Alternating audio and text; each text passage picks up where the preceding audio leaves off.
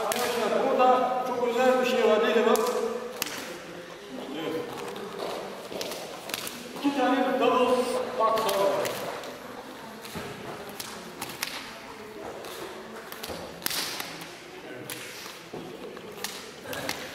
Şimdi bunu da biz daha Şimdi normalde çok alışılmış şey değildir double box Ama iki tane double box hiç alışılmış bir şey değil. Bunu ne için kullanıyoruz? Otomatik olarak vücut e, bunu çıkarırsa gene kullanır ama normal şartlarda olacak bir şey değil. Otomatik olarak vücudun otomatik olarak verdiği her cevap doğrudur. Refleks yanılmaz. Refleks yanılmaz. Refleks, tırnak içinde söylüyorum, bizim irademizde olan bir şey değil. İrademiz ne kadar karışırsa o kadar hata olur. Refleks mükemmeldir. Refleks, e, yaratılışımızda olan bir şey. İlahi bir şey. Yani şöyle söyleyeyim. Kızgın bir sobanın yanında dursan, şöyle dalgınlıkla dirseğin değse, refleks asla sobaya doğru olmaz.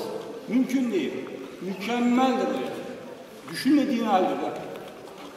Düşünsen dersin ki bu kızgın, bu tarafa ol dersin. Demeden nasıl oluyor?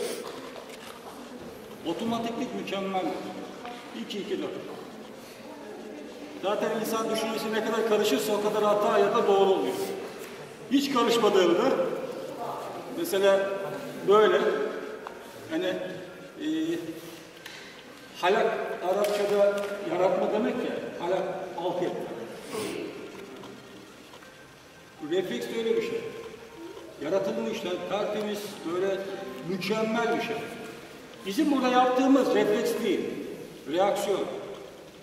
Reaksiyon, şimdi refleks doğrudan omurilikle beyin arasındaki bir ilişkidir. Refleks. Fakat reaksiyon şeydir. Mesela önce doğruyu öğrenirsin, beyin devreye girer. Bakın beyin bu, burada bu olacak, burada bu, burada bu, sonra bu. Beyin bunu ezberler. Beyin bunu ezberler. Önce bu, sonra bu, sonra bu, sonra bu, sonra bu. Beyin bunu ezberledikten sonra hızlandığı zaman bu artık beyinciğin işi olmuştur.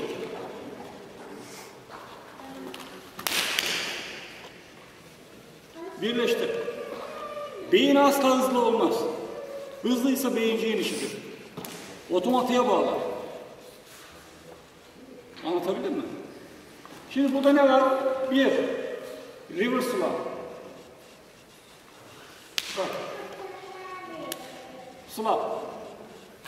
Bir slap daha, bir slap daha çüye ya da işte yumruk. Bak. Tamamen aslında üzerinde bir şey var. Arkadaşlar, e, Çin e, savaş sanatları kültüründe 8 tane bilinen enerji var. Sonra bu artıyor. Daha da yukarıya çıkabiliyor. Yani baştan hani demişler ya dört anasız saymış Batı. Toprak hava su ateş diye Çin tahtayı da koymuş. Mesela. Farklı bir şey geliştirmiş. Dolayısıyla bu enerjilere de birçok şey eklenmiş zaman içerisinde. Yani ilkel Çin dönemindeki enerjiler 8 iken gittikçe işte 16, 20 çıkabildiği kadar çıkmış. Şu, şu agresif power Burada agresif power ortaya çıkıyor. Agresif power dediğimiz e, Çin savaş sanatlarındaki o popüler enerjilerden, çok bilinen enerjilerden biri. Agresif power. Yani gang diyorlar. Kung da oradan geliyor. Kung. Ki.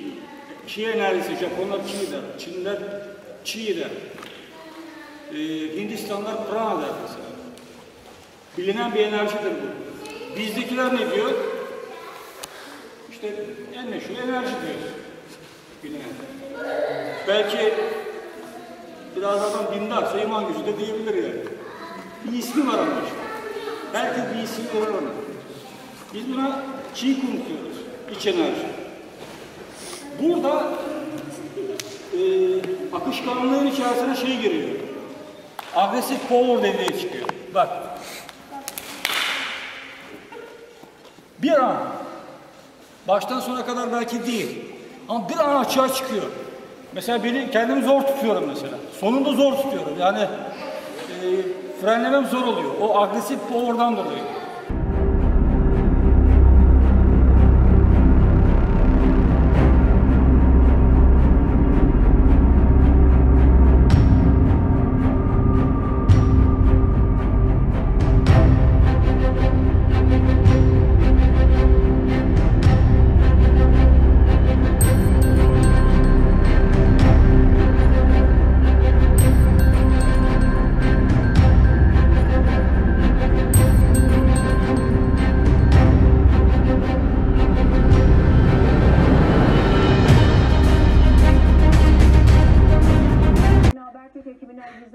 Çektim, alo. Bakayım.